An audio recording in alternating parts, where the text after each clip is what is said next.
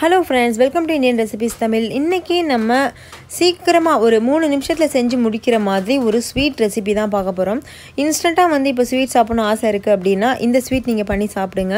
இது நல்ல ஒரு பர்ஃபி டேஸ்ட்டில் நல்ல ஒரு பால்கோவா டேஸ்ட்டில் இருக்கும். செம்மையாக இருக்கும்.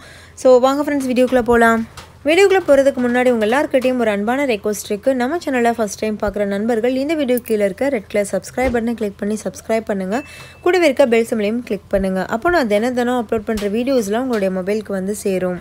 இந்த ரெசிபி பண்ணுறதுக்கு ஃபஸ்ட்டு ஒரு கடாயில் அரை கப் அளவுக்கு சீனி எடுத்துக்கோங்க. நீங்கள் சீனிக்கு பதிலாக வெல்லம் கூட சேர்த்துக்கிறலாம் இல்லை நாட்டு சர்க்கரை கூட சேர்த்துக்கிறலாம் ஸோ அரை கப் அளவு சேர்த்துக்கோங்க.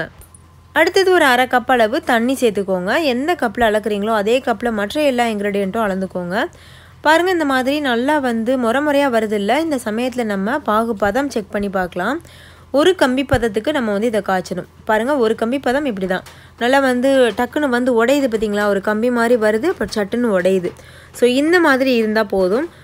இந்த சமயத்தில் நம்ம வந்து இது கூட பால் பவுடர் வந்து சேர்க்க போகிறோம் நீங்கள் இந்த பால் பவுடருக்கு பதிலாக கடலை மாவு யூஸ் பண்ணிக்கலாம். பால் பவுடர் அரை கப் அளவுக்கு நான் சேர்த்துருக்கேன்.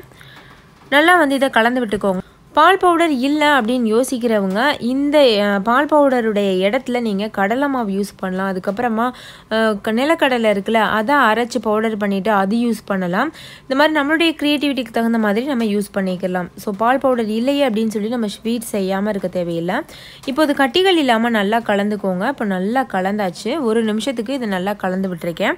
அதுக்கப்புறமா இது கூட ஒரு கப்பளவுக்கு நம்ம தேங்காய் துருவல் வந்து சேர்த்துக்கிறலாம். பாருங்கள் இந்த மாதிரி. இது கடையில் கிடைக்கிற தேங்காய் துருவல். உங்ககிட்ட ஃப்ரெஷ்ஷான தேங்காய் இருந்ததுன்னா அது சேருங்க. அது இன்னுமே நல்ல டேஸ்ட்டாக இருக்கும்.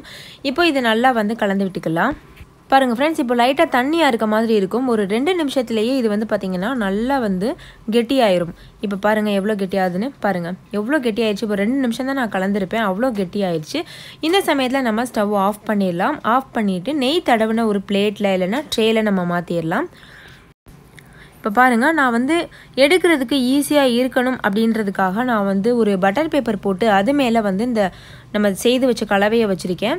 இந்த மாதிரி நல்லா வந்து டேப் பண்ணி விடுங்க. அப்போ தான் அது சரி சமமாக வரும். இதில் நீங்கள் உங்களுடைய க்ரியேட்டிவிட்டிக்கு தகுந்த மாதிரி ரெண்டு ஸ்பூன் நெய் சேர்த்துக்கிறலாம் அதுக்கப்புறமா ஏலக்காய் தூள் சேர்த்துக்கிறலாம் இதெல்லாம் வந்து டேஸ்ட்டை இன்னுமே இன்க்ரீஸ் பண்ணும். நான் இன்றைக்கி சிம்பிளாக இருக்கட்டுமேன்னு சொல்லி இந்த மாதிரி பண்ணியிருக்கேன். இப்போ இது வந்து நல்ல ஒரு பத்துலேருந்து பதினஞ்சு நிமிஷம் நல்லா காயட்டும். காஞ்சதுக்கப்புறமா நம்ம இதை கட் பண்ணிடலாம்.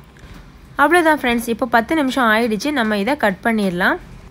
இது நேரம் ஆக ஆக ரொம்ப வந்து ஆறும் பார்த்திங்களா? ஒரு ஒரு மணி நேரம் ரெண்டு மணி நேரம் ஆகும்போது நல்ல ஒரு பர்ஃபி ரேஞ்சுக்கு வந்துடும் ஸோ அந்த டைமில் வந்து நம்ம கட் பண்ண முடியாது. அதனால் வெது வெதுப்பாக இருக்கும்போதே ஒரு பத்து நிமிஷத்துலேயே நீங்கள் வந்து இந்த மாதிரி கட் பண்ணிடுங்க அவ்வளோதான் ஃப்ரெண்ட்ஸ் நம்மளுடைய இன்ஸ்டண்ட்டான பர்ஃபி ரெசிபி சூப்பராக தயாராகிடுச்சு நல்லா சாஃப்டாக வாயில் வச்சதும் கரையிற மாதிரி இருக்கும். இதை பார்க்கும்போதே உடனே சாப்பிடணும்னு சொல்லி வாயில் எச்சி ஊறும். அந்த அளவுக்கு இது சுவையாகவும் இருக்கும். ஸோ கண்டிப்பாக ட்ரை பண்ணி பாருங்கள் ஃப்ரெண்ட்ஸ் ட்ரை பண்ணிவிட்டு உங்களுடைய எக்ஸ்பீரியன்ஸ் எப்படி இருந்ததுன்னு கமெண்ட்டில் என் கூட ஷேர் பண்ண மறந்துடாதீங்க. இந்த வீடியோ உங்கள் எல்லாருக்கும் ரொம்ப பிடிச்சிருக்கும்னு நம்புகிறேன் பிடிச்சிருந்தா லைக் பண்ணுங்கள் உங்கள் ஃப்ரெண்ட்ஸ் கூட நிறைய நிறைய ஷேர் பண்ணுங்கள் அப்போ அவங்களும் பார்த்து பயன்பெறுவாங்க. இன்னொரு சூப்பரான ரெசிபியோடு நான் உங்களை சந்திக்கிறேன். Thank you bye